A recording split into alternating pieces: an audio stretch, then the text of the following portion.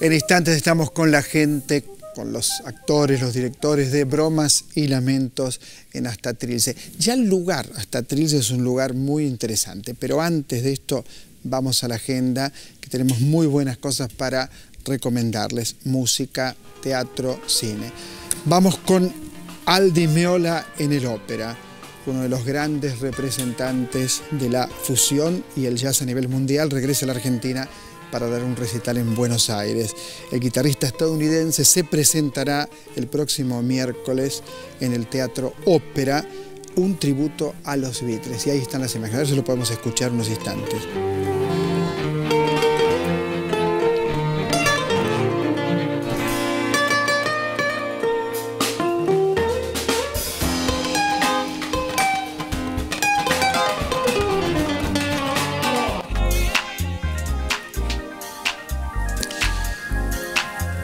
Economía y política, 200 años de historia en el hall de la TV pública. Bueno, busca cruzar la documentación histórica con una mirada contemporánea. Hay obras también de varios artistas y archivos provenientes de la Biblioteca Nacional, la Biblioteca del Congreso de la Nación y por supuesto la TV pública y el canal Encuentro. Algunas fotografías como esta con la infanta Isabel y por supuesto la metáfora, la metonimia para hablar de 200 años de historia argentina que como usted sabe no siempre la pasamos bien. Vamos al teatro, Museo Ezeiza. Mediante la técnica del fetiche, la mecánica metafísica del vudú y el método del interrogatorio, el museo intentará entrar en contacto con Ezeiza a través de sus restos. Y ahí tenemos una suerte de tragedia griega nacional fragmentos de Ezeiza serán utilizados como antenas. Eso es lo que propone Museo Ezeiza. Eh, y tiene que ver con el teatro, pero sobre todo tiene que ver con la instalación que dirige Pompeyo Audiver. Ahí están las imágenes y por supuesto en el Centro Cultural de la Memoria Haroldo Conte, un lugar que siempre frecuentamos y que no deja de darnos sorpresas. Allí donde hubo muerte, hay vida. Eso es lo que propone el Centro Cultural. Cine. El mejor estreno de la semana, sin ninguna duda, Ana Haren y la banalidad del mal. Usted recordará de Margaret von Trotta, recordará a las hermanas alemanes o Roxa Luxemburgo. Y aquí Ana Haren escribió un libro que tiene que ver con el juicio a Eichmann. Ese libro que habla de la banalidad del mal provocó que la trataran, entre otras cosas, de nazi.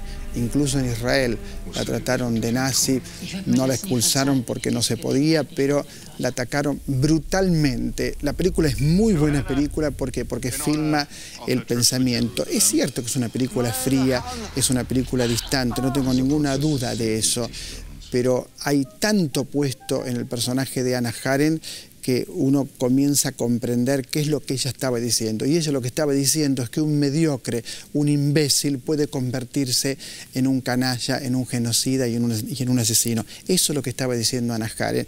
Y yo creo que la hipótesis es acertada.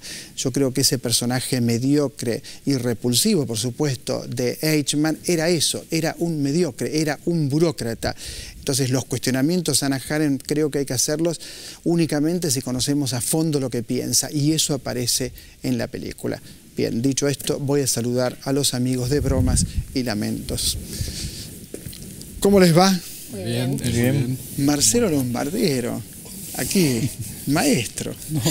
Este, me, quedé, me quedé fascinado, me quedé fascinado con el espectáculo, realmente fascinado. Pero primero quiero escucharte a, vos que sos el principal artífice en, cuanto a la dirección, no por supuesto en cuanto a lo demás. Te quiero escuchar. bueno, buenas noches. Gracias por, invitarnos acá. Y la verdad es que es una, felicidad hacer este espectáculo. Es un espectáculo extraño en algún, en algún punto lo, lo, que ha sucedido con el espectáculo. Nosotros nos planteamos hacer cuatro funciones allá por julio de este espectáculo de canciones del Renacimiento en un bar. O sea, descontextualizar eh, el hecho de la música barroca, la música de cámara, este, y ponerla en, un, espacio poco convencional, no convencional, como, un bar, como un café concert, y desarrollar ahí una especie de, ópera, pequeña ópera imaginaria, eh, pero que, digamos, el, punto de inflexión son lo que los barrocos llamaban los afectos. Esta, esta música tiene una particularidad que es eh, la conjunción única entre palabra y música y sentimiento. Esto es lo que buscaban aquellos músicos en, el, en, el, año, en los años 1600, a principios del siglo, este, a, principios del 1700 también. Eh, esto fue único, ese, ese, ese, ese periodo fue, fue, fue, fue único en la música y esa música que parece arcaica, antigua, increíblemente nos resuena muy cercana, muy cercana. Y esto es lo que quisimos dar con un espectáculo que dura alrededor de hora y media, que, tiene un, que no tiene un hilo conductor, no hay una historia que se cuente, sino son situaciones dramáticas para poner en relieve y darle valor a esta música y sobre todo el riesgo que tiene es que estos jóvenes cantantes aquí al lado mío... Sí, que quiero darles también, claro, que darles la palabra. Este, estén tan cerca del público, canten en esta intimidad, al lado de la gente. Eh, decime tu nombre porque me dejé la rutina ya y ahí tengo, tengo el orden eh, nombre por nombre. Oriana Favaro. Oriana, este, que además cantás muy, pero muy bien. Muchas gracias. Eh, decinos algo de lo que haces en este espectáculo para que pueda transmitirlo. Bueno, en este espectáculo, más allá de los pequeños conjuntos que hacemos, hay algunas partes solistas y lo que hago, o creo que es lo que intentamos hacer todos, es transmitir la palabra. Justamente esto que estaba hablando Marcelo, el valor que tiene la palabra dentro de esta música, estos poemas, em, dárselos a la gente de cerca, porque nosotros en general cantamos sobre un escenario a una distancia más que muy prudente del espectador y en este caso tenemos la, la alegría de poder pasar tocarlos el hombro, mirarlos a los ojos. Sí, sí, es eh, Oriana, que ella me trajeron todo soprano. Eh, si viste, en la televisión es así, viene uno por debajo, te dice, te lo olvidaste, quiero gato malo.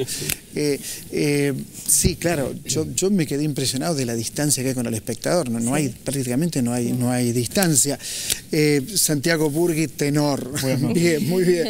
Buenas noches. También uno imagina un tenor, viste, como un señor grande, este, y además de que son todos muy, muy buenos, realmente muy buenos tienen que, supongo yo, no sé, trabajar esta cercanía también. La, ustedes la tienen en cuenta con, el, público. para nosotros es una experiencia diferente a lo que estamos acostumbrados a hacer, digamos, y también este espectáculo lo que busca un poco este, en el público, y que también lo está haciendo en nosotros mismos, es derribar muchos prejuicios que hay con el tema de, la música antigua, con el tema de, la ópera, del, canto.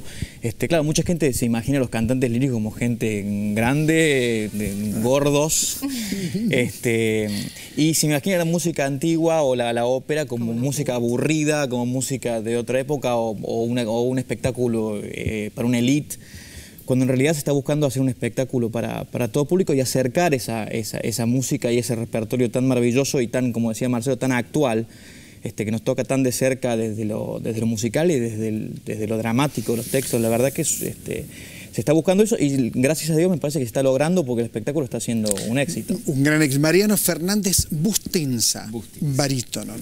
Eh, ¿Qué podés contarnos de, esta experiencia eh, donde ustedes están ocupando todo el espacio, hasta Trills o una buena parte del espacio, están cerca de los demás, cantan canciones de amor, instrumentos, eh, este, algunos que creo que son instrumentos antiguos? ¿Qué puedes decirnos? Eh, esto, digamos, en mi caso yo estoy un poco más metido dentro de la música antigua, dentro del conservatorio haciendo un posgrado y para mí igualmente la diferencia fue realmente estar tan cerca de la gente, ver las caras, ver cómo, cómo se sorprenden, cómo disfrutan, cómo cierran los ojos, cómo se imaginan lo, que lo que uno les está contando, porque al fin y al cabo es una época lejana, pero, pero la, esencia del texto es, es, es nuestro, es un clásico. digo, es un, clásico que lo que nosotros tratamos en muchos casos también es de resignificar el texto y no mostrar específicamente, como en mi caso, que, que canto una, una parte de Orfeo en donde este, digamos, se lamenta por la muerte de su amada, bueno, eso está traído, pero está resignificado y en realidad lo que yo estoy diciendo es me libero por fin de vos. O sea, es otra cosa absolutamente diferente. como si fuera un chat, digamos, el uso de la tecnología también tiene que ver un poco en el espectáculo, digamos, eh, en el espectáculo quien lleve su smartphone o su tablet, repartimos, hay unas tablets, puede seguir los textos por, por medio de un sistema de sobretitulado, sí, yo, lo seguía, de sobretitulado que, tenemos ahí. Y hay un diálogo con, con la tecnología. Y Oriana está haciendo una especie de se ve en la, pantalla un chat este, erótico, este, utilizando un, un, scherzi, que es esa broma, ese es el, género, se llamaban así, scherzi e lamenti, el texto en italiano, de ahí bromas y lamentos. O sea, tratamos de, traer esta, esta cosa un poco arcaica, antigua, eh, resignificarla a, a, hoy. ¿eh? Y, y sobre todo para darle valor a, al comienzo del teatro musical. Vos sabés que allá por, el siglo XVII eh, esto, esto que hoy se llama ópera empezó como un malentendido, o sea, un, grupo de, artistas, músicos, escritores y artistas plásticos se decidieron eh, remedar el teatro, el gran el teatro clásico griego y inventaron la ópera, o sea, inventaron otra cosa. Y, de ahí nació, y bueno, la idea justamente es volver a resignificar esa, esa cosa arcaica que empezó eh, de una manera pensando que era una cosa trayéndola aquí. Eh, vos podías venir hoy porque te vas a Brasil a trabajar. Me voy a Córdoba primero y después me voy a Brasil. Sí. A Brasil. Y después me voy, así, me voy. Qué, pérdida, ¿no? Para el Teatro Argentino de La Plata que no sea más el director. Qué pérdida, ¿no? Un tipo de, semejante talento. yo esas cosas, viste, me cuesta mucho entenderlas. Como tengo varios medios, las digo sin ningún tipo de, de problema.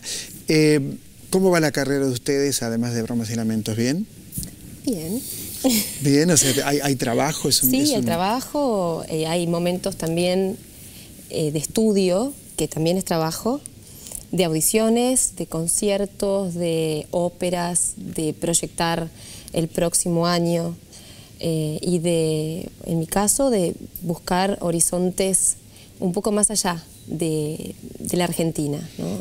Pero les puedo pedir que no dejen bromas y lamentos o, la, van a dejar. En realidad, eh, si yo pudiera, creo que todos, si pudiéramos eh, hacer solamente bromas y lamentos por el resto de mi vida, yo me doy por hecha. Por favor, eh, ¿qué días actúan? ¿Se acuerdan? Los martes a las 22 horas.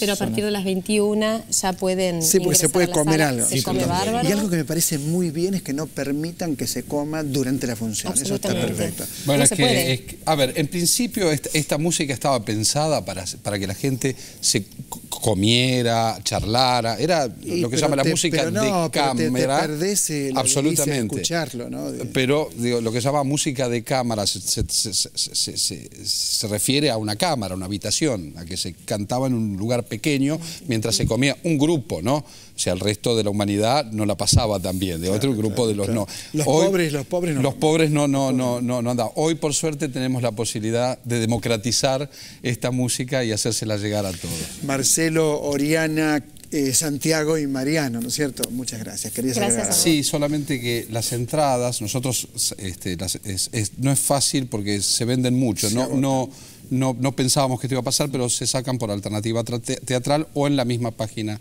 de Hasta Trills. Eh, mire, más que recomendable. Véalo, pero no, imposible no verlo, imposible no verlo. Yo la voy a mandar a mi productora, que es Marila Tedeschi, a que, a que lo vea, que ella es fanática de estas cosas. Enseguida regresamos, hay más en otra trama.